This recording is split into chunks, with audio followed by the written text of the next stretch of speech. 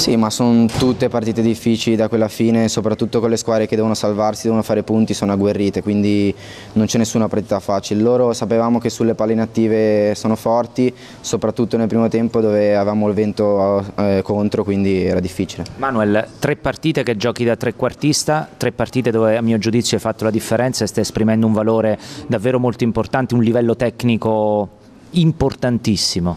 No, ma io cerco di fare il massimo possibile in tutti i ruoli, il mister eh, mi ha cercato di mettermi in un ruolo diverso perché abbiamo cambiato modulo, io mi adatto e cerco di fare il massimo. Secondo me è anche molto meglio rispetto all'esterno.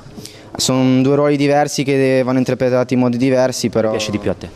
Vabbè, io naturalmente preferisco giocare esterno perché sono nato lì, però mi adatto e va benissimo anche trequartista, sono giocate diverse con spazi diversi. Con il nuovo modulo, 7 punti, pareggio di Foggia, la vittoria di Crotone, il successo di oggi con il Padova, è un caso che il Pescara con il cambio di modulo sia tornato a far risultato?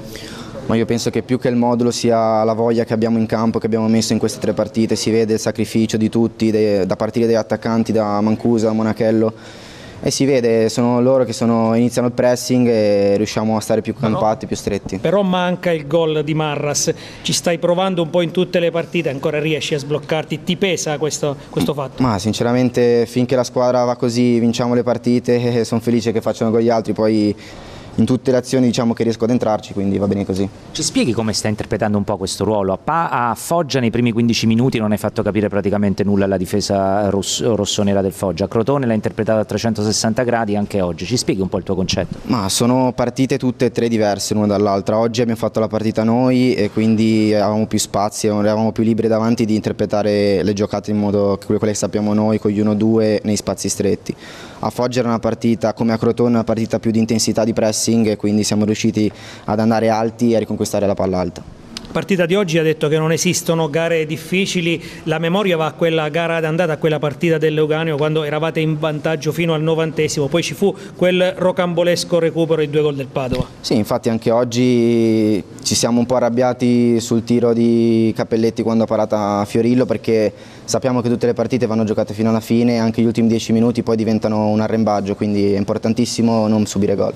Manuel, tu sei uno dei quattro, tre giocatori del Pescara in diffida, però adesso sei fondamentale e insostituibile. Secondo me nel secondo tempo quando ti è scappato via un avversario ci hai pensato un attimo.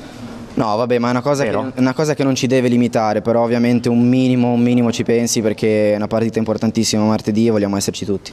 Parliamo un attimo, tornando a parlare di questa partita, dell'ambiente. Oggi anche per via di questo vento pazzesco c'era poca gente sugli spalti. Insomma, fa impressione vedere lo stadio Adriatico con così tanti voti, con una squadra terza in classifica. Voi eh, dal campo che cosa avvertite? Come vivete eh, questa diciamo un po' freddezza del pubblico? No, vabbè, ma noi sentiamo i tifosi vicini vicinissimi, infatti siamo veramente contenti che vengano e ovviamente si vorrebbe sempre di più, però non, non, dipende solo da noi e anche se siamo lì in alto cerchiamo di fare il massimo possibile per renderli felici. Obiettivo solo playoff oppure?